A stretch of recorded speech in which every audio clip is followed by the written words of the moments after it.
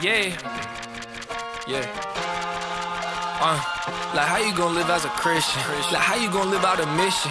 Like how you gonna roll through the city and pray for the homeless but not for the wicked? Used to sit in the pew as a critic. I would look up like y'all too religious. I'm like this is for me, I admit it. I said this is for me, I admit. Uh huh. Had some brothers who smoking the dank. I can't judge them, I know that I can't. Cause I looked at my mama with hate.